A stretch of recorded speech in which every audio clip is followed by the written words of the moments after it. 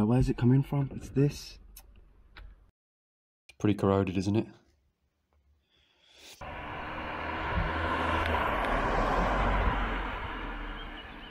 Here we go then folks, package from the UK.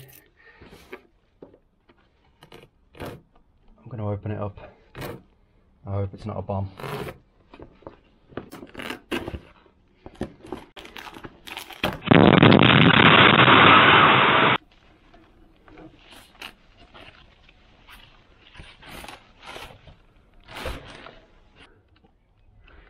Some slight breakage, but nothing to get too upset about. Something snapped off there, what's that off? It's a piece there that's come off somewhere. As long as the speedometer works, that's why we got it.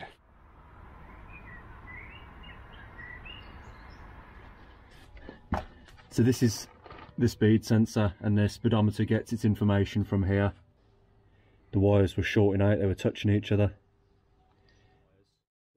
Repaired the wires temporarily just so that they're not touching each other and they're not shorting out. I've wrapped them around with electrical tape, plugged everything back in, still didn't work.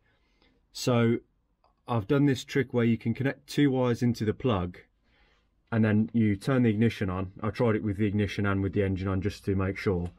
And you tap the wires together. It has to be something like 15 times a second or something like that to even get any kind of reaction on the dash.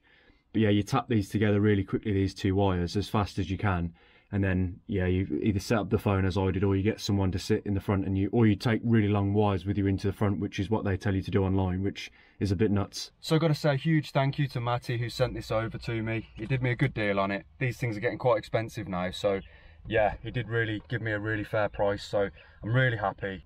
There's no turbo gauge. It's off an NA car but really I just need to swap over the speedometer unit.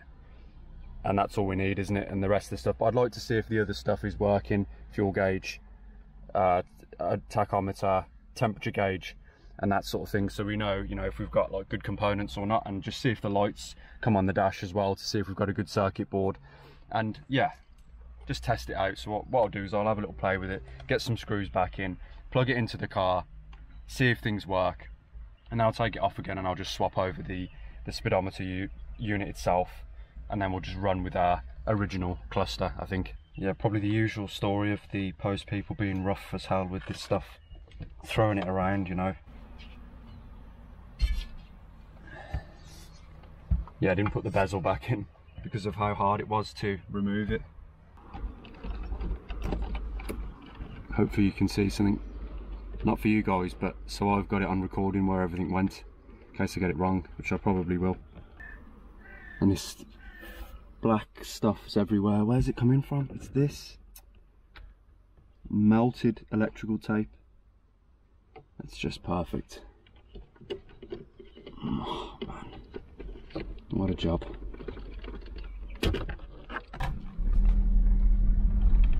Yes. Ah, oh, yes, the speedometer works. Oh, you beauty. Oh, that's really nice. Oh, nice one. There's things that don't work, but I'm not too worried. We've got a spare temp gauge. I might just talk when the road isn't, when we're off the World War II leftover road. So we don't have an odometer. It's taken a smack, hasn't it? So that's probably got something to do with that.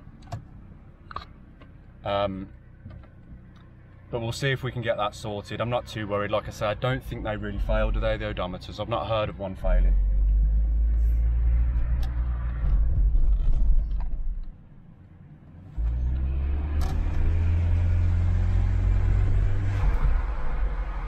Yeah.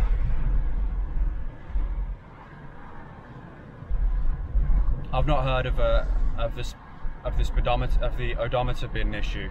I don't know if I just said speedometer or not. The fuel gauge isn't working, they can be an issue, can't they? This one is the lights on, but nobody's home.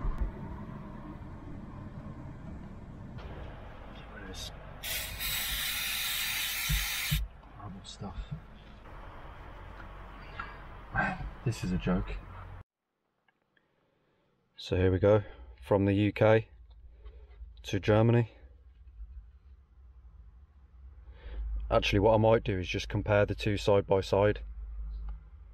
Obviously this one is fine. I might just see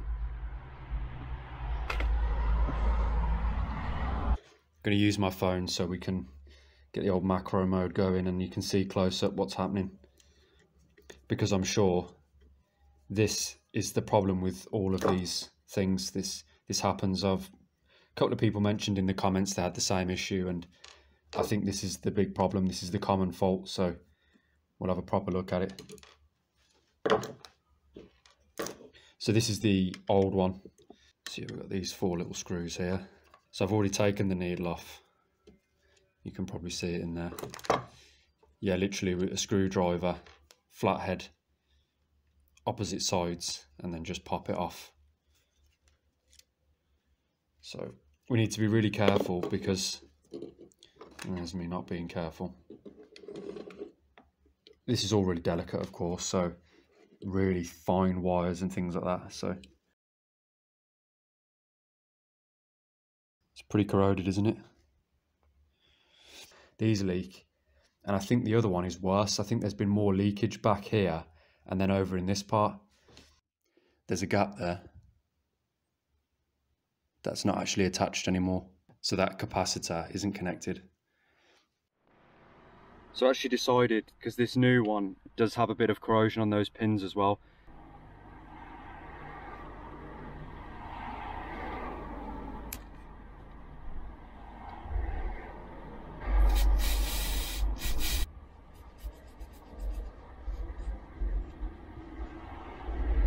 I'm probably going to break this. Even though it was working, I probably should have just left it alone. So the turbo gauge isn't going to work because I haven't hooked that up yet. It's easier to do it from behind underneath when you've actually got the cluster all the way in because the hose isn't actually long enough.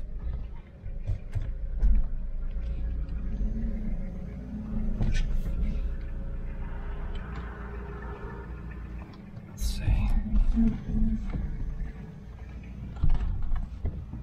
Hopefully I've actually fixed something and not made it worse.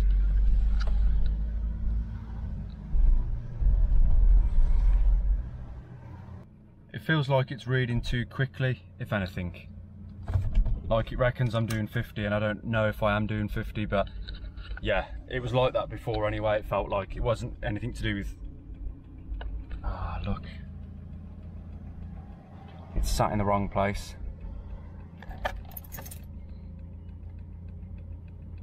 Yeah, I've obviously set up the needle wrong. Now it's jumping.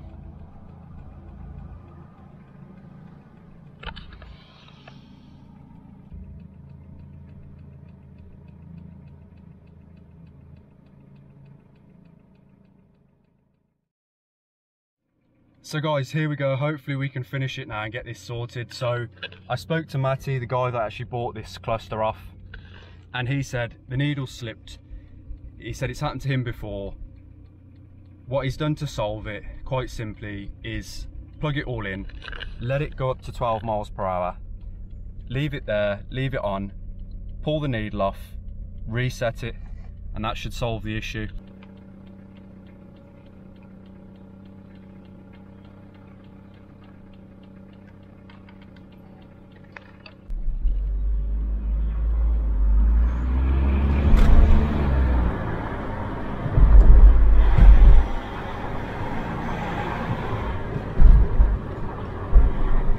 Phone says 40